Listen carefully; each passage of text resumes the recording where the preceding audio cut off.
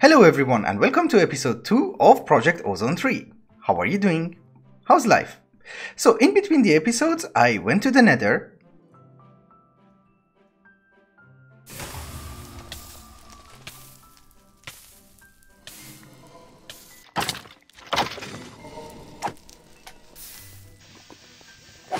I upgraded our meshes to diamond and sieved a lot of ores.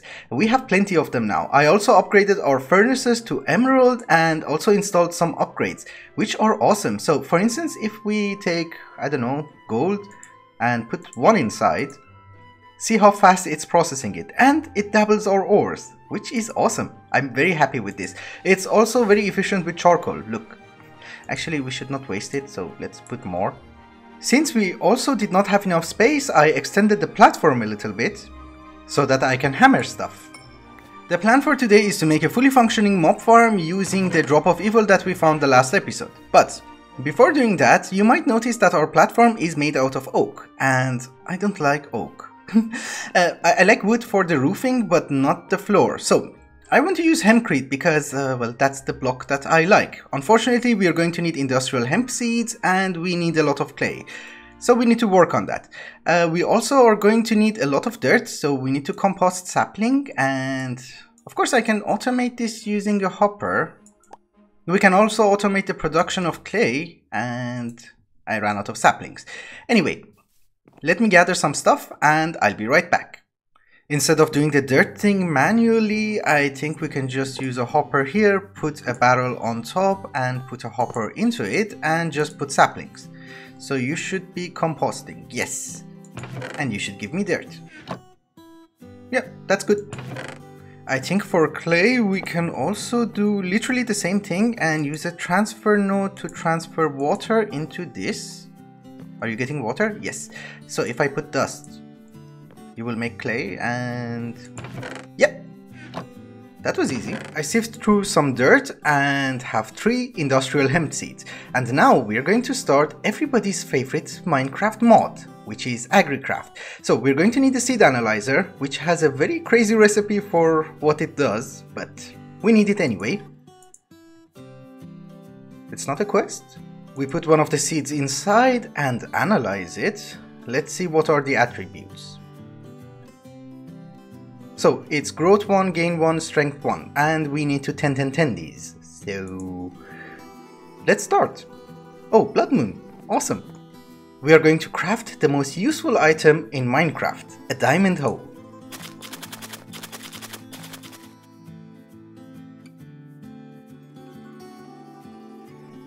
So this method only works in Project Ozone. Eh, you cannot do it in every single modpack because there is a config file which disables it and I'm getting pebbles. Okay, we just double click, it's easier. So the way this works is that we're going to plant you here and was it the one I analyzed? Yes, that is good. And we put this one here so that we don't get confused. This one will grow to this one, to this one, to this one, to this one, and all along the uh, line of dirt that I have and every time that it uh, breeds over, it will gain one attribute. There's a chance that it will gain one attribute, and hopefully by the time it reaches the end, uh, it will be 10 10 10. If not, we just bring it back here, do this process all over again, and eventually it will be 10 10 10.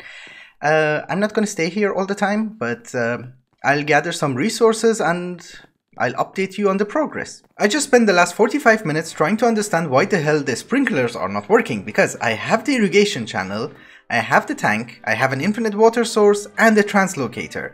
And if we go up, everything is full of water. So I was thinking what the hell is wrong because they should be spinning. Apparently the mod has gone through an update and they no longer spin. They're functioning, but you don't get to know that. This is so nice.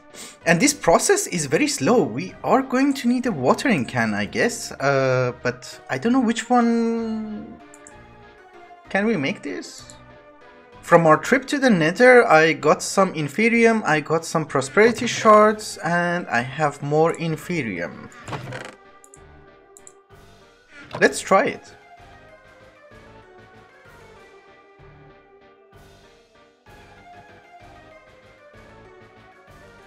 Apparently our experiment works because this is growth 3, gain 4, strength 4. And it's just like 5 plants. okay, that's very good. So I'll be doing this for every single seed that we're going to get. Off camera, so don't worry. We don't have any means of collecting crops right now, but I made an Inferium seed. Alright guys, I managed to 10 10 10 3 industrial hemp seeds and I think we also have two Inferium tier 1 seeds which are also 10 10 10 because when you right click instead of 1 you will get 9. This should also give me... yeah that gave me 10. so these two are also 10 10 10. We probably did not have to 10 10 10 these seeds because when you upgrade them I don't think they will keep their stats but I just wanted to show you how to 10 10 10 the crops so that I don't know if next episode I have uh, more crops that are 10 10 10 you know where they come from. Anyway, I managed to get some industrial hemp and we have hempcrete so I made a platform for our new mob farm which is going to be here. So the oak planks are the boundaries of the mob farm. Um, it will have an internal space of 7 by 7 and I think that should be enough. Since we are going to have a drop of evil, I want to also make a proper mob farm. So I don't want to make a platform where I have to go and smack them down one by one. I want to have a mob crusher from industrial foregoing. So for that we are also going to need power and latex. Let's gather some stuff. For generating RF, even though that it is a blood moon and we cannot skip the nights, I want to use solar panels. I checked the recipes and until solar panel tier 6 which generates 2048 RF and you get two of them, we have every single material that it's going to need. Literally everything and we have them in large quantities. I made a small calculation and apparently if we make 4 stacks of solar panel tier 1s we should be able to make a solar panel tier 6. I'm not sure, but I have prepared the recipe, so we're going to make a lot of mirrors. That's for 2 stacks of tier 1 and 4 stacks of tier 1. So we're going to make 1 stack,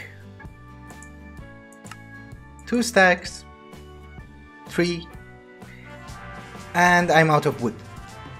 And the fourth one, inventory management is a pain. Of course, then we are going to upgrade them to tier 2. You know guys, I could not have managed making the solar panels without these furnaces because it's dabbling our ore and if you put sand inside, it will also dabble your sand. Look, we will get to glass. These furnaces are amazing. I love them. Okay, I think we can now make tier 3s. That's all of them, right? Yep. Good. Tier 4 and Tier 5. So the problem is that I might have made a slight miscalculation because this is the last of my lapis.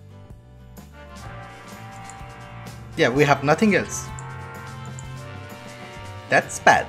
I'm literally running low on everything, but I think we can just make it. So, can you do that? Yes! That's 4000 RF. Haha. Oh, and by the way, I know that I can go to the quest and start gathering these RAKs in order to get these legendary rewards, but I'm not gonna do that just to annoy you. In order to make the mob grinder or any device from industrial foregoing, we're going to need plastic. How do we get plastic? We get it from dry rubber, and dry rubber comes from tiny dry rubber which comes from a latex processing unit. How do you get latex? You're going to need these three fluid extractors. So you put them here, and you put a log in the front. And without power, you will get latex. So uh, I made a few more and we put you here and another one there. The latex processing unit goes here and we need to extract the latex from these uh, three fluid extractors to the processing unit. So we need pipes. I have pipes. Good. Mm, this and this. Good. This guy needs power and water. So let's get them. So this guy has water and if we provide you with power, you do work, right? Yes, that is good. And we get tiny dry rubber. Oh, by the way, we can use a mechanical user for uh, auto-feeding the logs, but uh, I'm not picky right now. I, we just need a few pieces of rubber and that's it. And yes, we have a plastic sheet. We need, I think, five or six of them, because we also need the range upgrade. So the mob crusher requires books. We have leather, but we don't have paper, and we don't have sugarcane. Well, I think we have sugarcane seeds somewhere. Yes, we do. But when you have Ex Nihilo in the pack, I think you can just hammer down wood. I think. That should give you sawdust. And it's Mekanism sawdust. Okay, that's good. So you would use 4 sawdust with a bucket of water and you will get 2 paper. You use 3 of them like this and you will get 6. Why would you do that? And 1 mob crusher. In order for our mob crusher to work, uh, we're going to need some conduits from EnderIO and we don't have an alloy smelter but I think this recipe is not disabled. We should be able to get pulsating iron. Yeah, seems to be working, so we can just cast it out and make our item conduits. I can also make some energized alloy. So some energy conduits and some item conduits. And this is going to be our mob farm. I'll probably change the blocks because uh, it's early game. I don't have access to any other thing than cobblestone. So for now it's going to stay here. Once we get into Botania and get the Rod of the Shifting Crust, I can easily change them. But anyway, we have an energy conduit which goes to the solar panel. I had to make a translocator in order to gather the essence because I could not make fluid conduits. They need fused quartz. There is an item conduit which comes down here and here we are going to set up the drawers. But uh, first I want to make a small filter and see what kind of loots we are getting. Um, I also think that the solar panel that we have up there is actually too strong. it generates 2000 RF. I don't know if this guy needs 2000 RF, but in any case, if it requires less, I can craft a lower tier one. So let me set it up and I'll bring you back. There is a little bit of light coming from here because I do not have access to a painting machine and I cannot make facades. But I think for now we can just do this. This guy also has a range upgrade, later I will put speed upgrades and apparently there's also a fortune upgrade. So let's drop this and run I guess.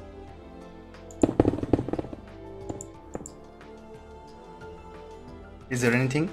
Yep, I heard something. Yes! To... I hear explosions.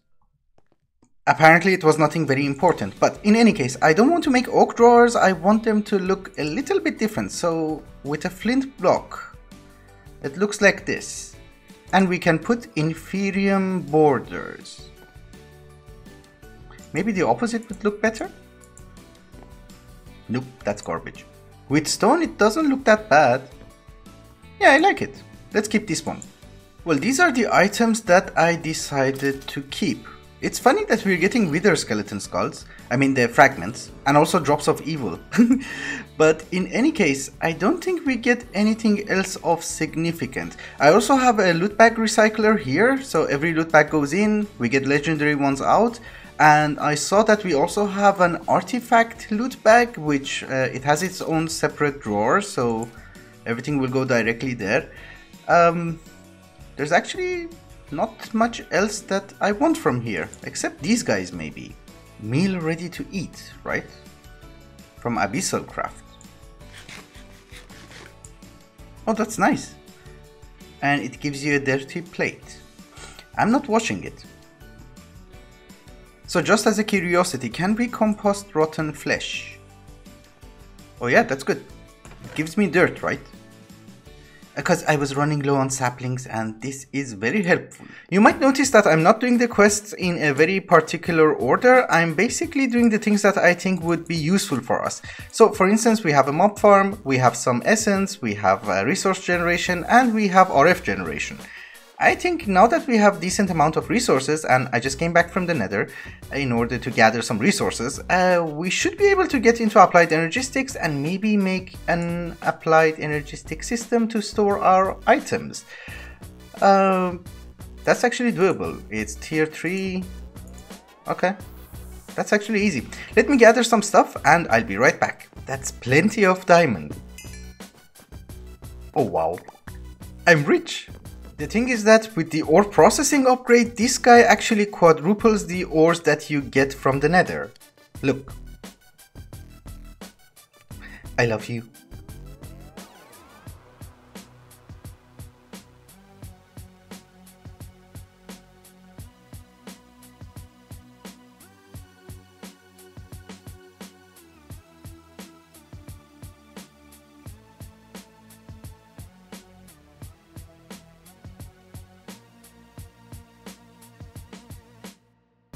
Okay, so in order to make the inscriber itself, we are going to need uh, slime balls. Uh, there is a slime island over there, which is just out of the render distance, but you can see it from the mob farm.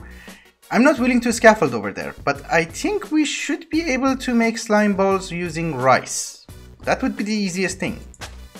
So we make dough, and that gives us four. That's awesome. For now I'm going to make 4 inscribers because then I can upgrade them to the advanced inscriber. Oh, you only need one. Why did I think you need two? Okay, that's fine. So I've been thinking why not make the controller as well because we have everything, we just need the sky stone and we just have to drop you inside lava. You go here. Oh yeah, okay, cool.